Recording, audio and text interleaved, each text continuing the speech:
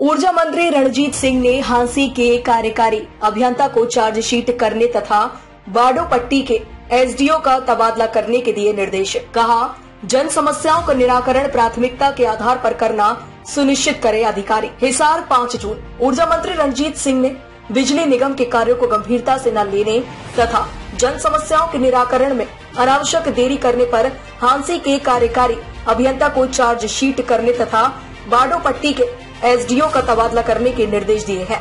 वे रविवार को स्थानीय लोक निर्माण विभाग के विश्राम गृह में लोगों की समस्याओं को सुन रहे थे। उन्होंने ज़िले के ग्रामीण एवं शहरी क्षेत्रों में दिन प्रतिदिन बढ़ती जा रही चोरी की घटनाओं के दृष्टिगत पुलिस अधीक्षक लोकेंद्र सिंह को गश्त बढ़ाने के साथ साथ संबंधित क्षेत्र के पुलिस अधिकारियों के विरुद्ध सख्त कार्यवाही के निर्देश दिए। उन्होंने बताया कि Rajiv Gandhi thermal power plant की दूसरी यूनिट चालू होने के पश्चात लोगों को निर्बाध रूप से बिजली की आपूर्ति शुरू हो जाएगी, तथा रात्रि के समय लगने वाले बिजली कंटों से भी निजात मिलेगी। जिन किसानों ने ट्यूबवेल कनेक्शन के लिए सिक्योरिटी जमा करवा रखी है, उन्हें शीघ्र ही ट्यूबवेल कनेक्शन देने की प्रक्रिया शुरू की जाएगी। उन्होंने विभिन्न गाँव के नागरिकों की बिजली पोल, तार तथा ट्रांसफार्म लगाने संबंधी समस्याओं का शीघ्र निराकरण करने के लिए निगम के अधीक्षक अभियंता एस एस राय को निर्देश दिए। जन समस्याओं को सुनते ऊर्जा मंत्री रणजीत सिंह। लेकिन ऐसा नहीं होता। पोल्यूशन जब तक पोल्यूशन क्लियरेंस नहीं मिलती तब तक वो नहीं होता। देखिए जो सुप्रीम कोर्ट की गाइडलाइन है या पोल्यूशन बोर्ड की एनजीटी की गाइडलाइन है उससे कोई देखते करते हैं हमें सबसे फ़िलहाल इसको कोई चीज़ नहीं कैप्टन साहब, हमारे मित्र में याद नहीं क्या बोल रहे हैं, क्या और उन्हें पता ही नहीं क्या समय था ऊपर ये मंत्रालय कब था दूसरा कब नए दो नेता राजस्थान में चले गए सुभाष चंद्र और रणदीप सुरजेवाला क्या रहेगी देखिए मैं उस बात की एक बात कह रहा हूँ कि राजस्थान के क्षेत्रों को एक मैंडेट और वहाँ विधानसभा जो है वो लोगों की संपत्ति उनकी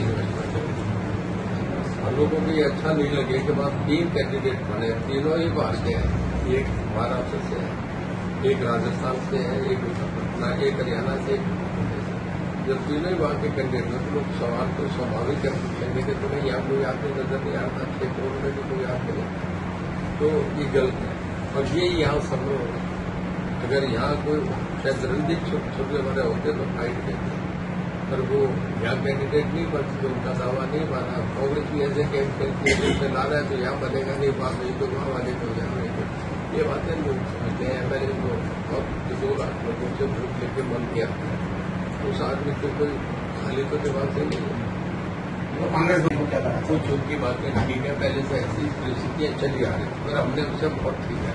अब पहले वाली बातें नहीं है अब जैसे मैंने आज जैसे क्लास लेता हूँ डरते हैं सर इसके बाद ये कहते हैं कि ठेकेदार को ये करेंगे।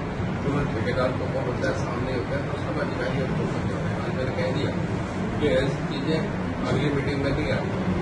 सब अफसर जो जाए सबके सीधे आप पेड़ आदमी आप ऑफ़िस में बैठा आपको गाड़ी घोड़ा सुन देगा आपका बिल्कुल बेकायदगी की बात है। चाहे गवर्नेंस कमेटी को मैं इंचार्ज हूँ मैं उसमें भी लेके फैसला लेंगे वैसे पिछली बार हमने एक ऑर्डिनेंस एक सोचता हूँ ये मैं बात करके कहा था कि बारह से दो कहीं भी पावर मिल रही थी परचेज किसी भी कीमत पर ऑफ़िस में जानता है, नहीं मिलती हमारा थर्मल कमीशन हो गया। मुझे लगता है कल या परसों में हमारा साफ़ सुथरे में ये चलेगा जो अस्सी का एक्शन था। उससे छह सात बातें कही कि उसके सामने एसडीओ कह रहा है उससे शिकायत आई वो कह रहा है मुझे जानकारी तो वो कहता मुझे जानकारी है। तो आपको बिल्कुल ही इरिस्पॉन्सिबिलिटी से कोई काम करे। लोगों के कंप्लेंट नहीं सुने तो खाली हम उससे आज चार्जशीट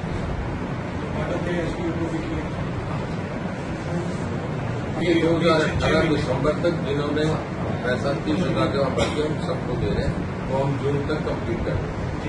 इसके बाद जो कनेक्शन रहेंगे तो फिर हम नई तरीके से एप्लीकेशन देंगे फिर उनके जो आएँगे उनको हम देते हैं अगर हमारा भी कोई चीज़ है कि जो हमारी अप्रूव मॉडल है आर्ट्स वो हमारा एसडीओ एक्शन को अपना काउंटर पे पैसे जमा करें हमारा एसडीओ यही जाके मोटर से जाके वेरिफिकेशन करेंगे ताकि लोग जल्दी जल्दी कैच ताज़ा अपडेट्स व बड़ी खबरों के लिए सब्सक्राइब करें आज प्रकाश टीवी और बेल आइकन दबाना न भूलें।